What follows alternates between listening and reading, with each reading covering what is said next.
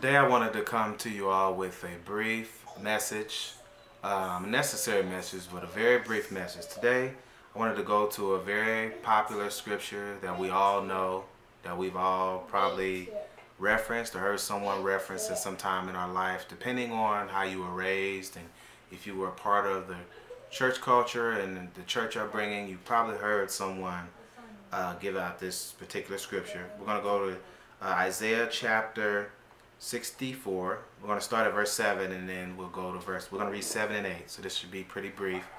Verse 7 says, And there is none that calleth upon thy name, that stirreth up himself to take hold of thee. For thou hast hid thy face from us, and hast consumed us because of our iniquities. So it says that God will uh, hide his face from us, um, you know, if we partake in sin. Uh, and then verse 8 says, But now, O Lord, thou art our Father. We are the clay, and thou art thou art potter, and we are all the work of your hand. So Jesus Christ wants to come and and shape and mold us into something. A lot of us, we've let the world sculpt us and make us into something.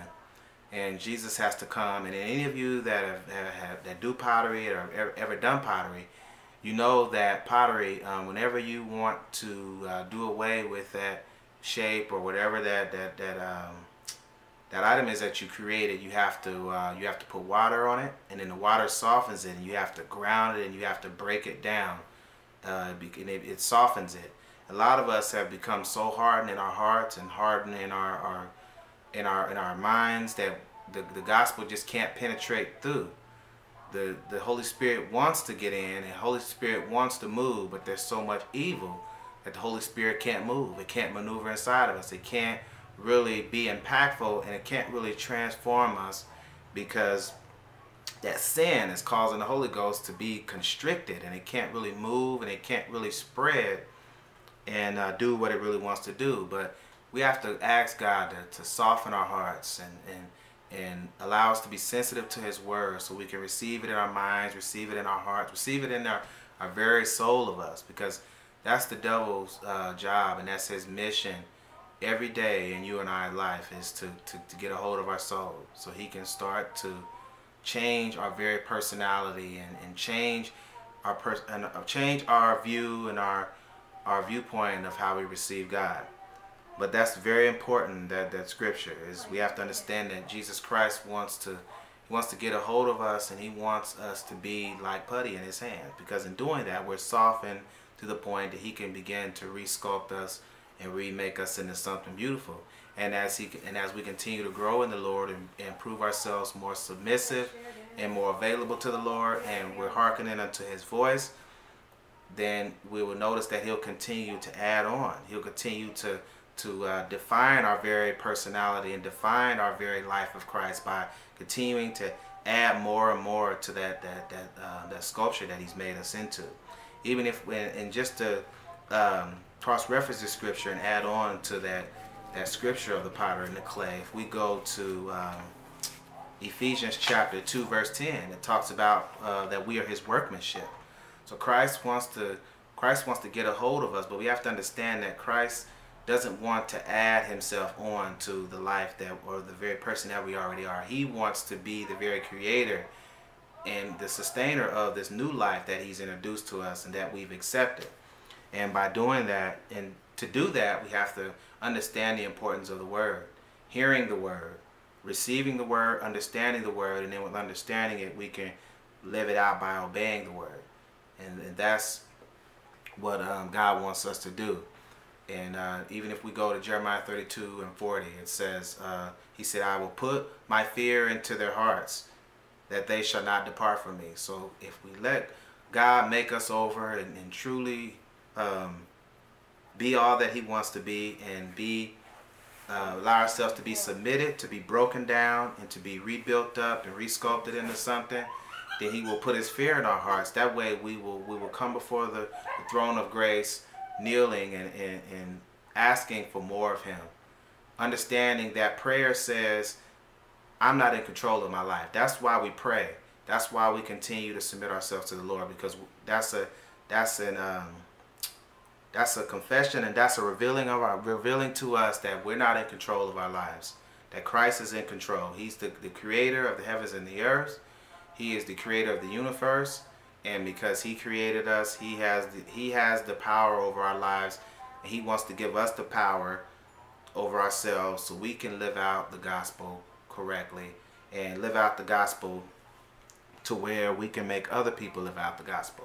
He wants to reconcile, he wants to be the reconciliation of us back to God so the Spirit of God can truly rest and breathe upon our lives. But we, we have to understand that we have to be completely broke down so he can build us up again. You know, a lot of us think that through our, our well-learned behaviors and through the life that we have come to know without God, we can simply still be that same person, still have that mentality, still have those behaviors, still be that very same person, and Jesus Christ will just impart himself into who we already are. But it, we will find that if we don't um, submit ourselves to the Lord, um, and we continue to be proud and prideful in our walk. Like we don't like when we go in the house of god we don't need to raise our hands up through praise and worship and truly give honor and reverence to him.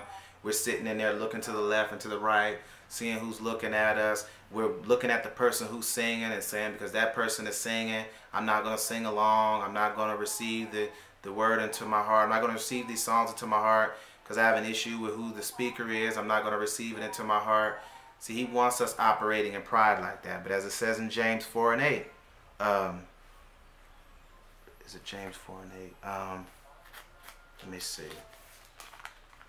Um, it may not be James 4 and 8, but it is in the book of James. The scripture says that he will give grace to the humble, but he resisteth the proud. So we have to understand that if we come come into the house of God or we come into the presence of God prideful, we don't really want to um, focus on that very moment of, of, really receiving Him and really hearing what He has for us. See, we, we worry about what everybody else is doing in their lives because we're not worried about what God is doing. You know, when people are really living for God and they're really hearing from God, they're going to tell you what God is, is, has, has told them. They're going to be living out what God has gave them the, the God-given ability to do, which is to, to, to run away from sin and to go and set the captives free and to, to really be uh, a true representation, a true manifestation of the gospel for all of the, the brothers and sisters in the faith and out of the faith. But if we live a life to where we're prideful in how we worship God, we're prideful in how we live, we think that the world and everyone owes us something, instead of the fact that God wants us to, to go out and he gives us blessings and he gives us things so we can give to others, then we're going to find ourselves in opposition with God. And being in opposition with God will put us in a place to where um, we can't receive all that he has for us. So that's the message I wanted to give to you all today is God wants to be the potter and he wants us to be the clay. So submit yourselves to him so you can be the clay if you have not completely been broken down and grinded, then ask the Lord to, to deal with you. Act, go to the Lord humbly, humbly yourself, and ask Him to, to truly make you over and can truly put His hand on you and in your life so He can, can sculpt and make up your life in the way He wants it to be. Because we can we can think we're happy with the things that we have in life, but the real and true happiness comes from knowing Him and having more of Him, not more of things. So this is your brother Melvin, and God bless you all. And thank you again for stopping by.